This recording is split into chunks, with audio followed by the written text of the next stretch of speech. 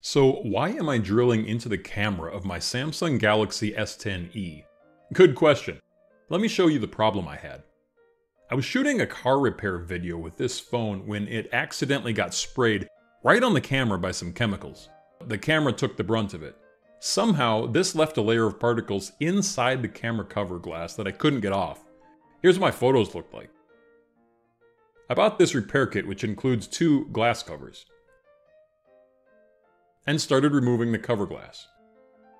The first step is to turn off the phone. Then take a hair dryer or heat gun to the glass for about 20 seconds or so. Cut the adhesive around the edges.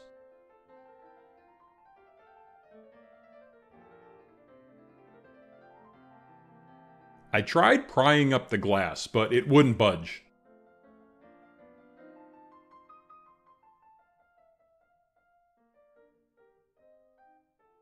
Time to step things up a notch. I put the phone in the drill press.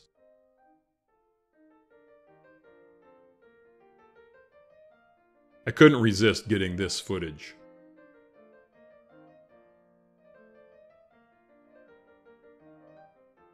The drill bit made a small hole in the corner. From this hole, I could then get a purchase in order to start tearing off the old camera glass.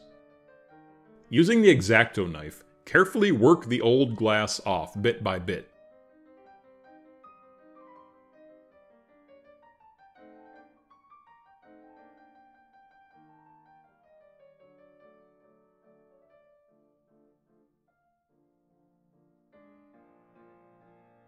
Use the hair dryer occasionally to keep the adhesive warm.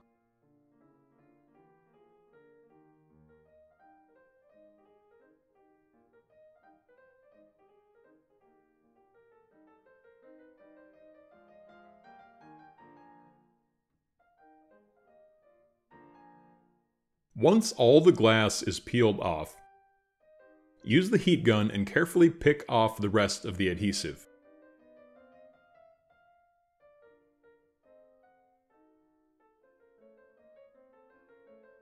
Use the alcohol wipe from the kit to remove any remaining residue.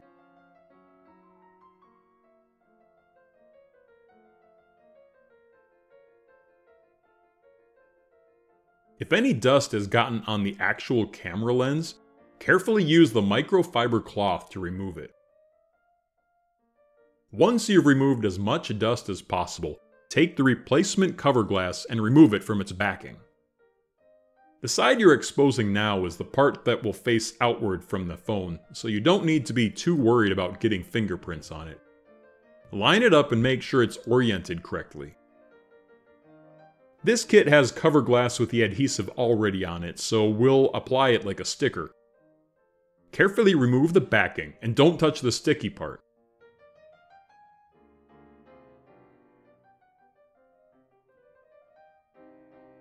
Fit the glass into the groove. It's perfectly sized, so you don't need to worry much about getting it lined up perfectly.